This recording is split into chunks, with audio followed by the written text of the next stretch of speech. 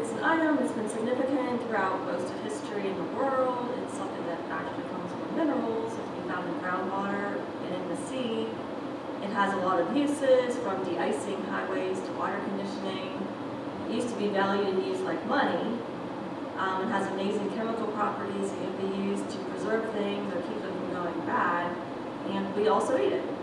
It adds depth of flavor to the taste of our food. Salt. Salt. Yes, I have salt. Yes. Um, and it makes a difference. Um, you don't really have salt in some foods like crackers and chips. They don't really taste good. So, you know, it adds flavor. Um, and Jesus talked about salt too in the Bible.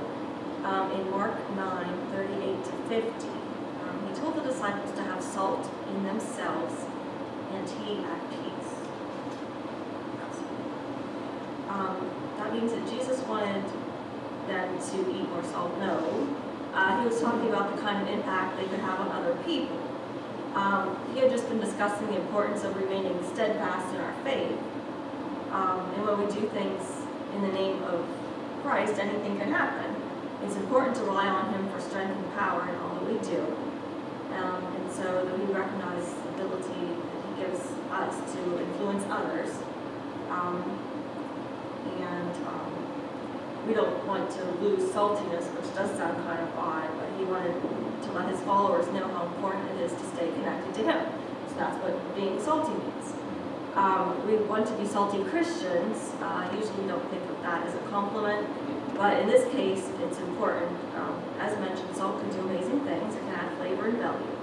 Um, and when we are like salt, uh, we can be filled with the Holy Spirit and go out to do His work and have an effect on others. Um, and we want to add flavor to the world in this way.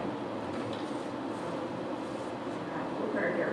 Um, Dear God, thank you for giving us faith. Help us trust in you for all things. Help us to be salty Christians so we can love and influence others. Thank you for your love. We love you, God. In Jesus' name, amen. Amen.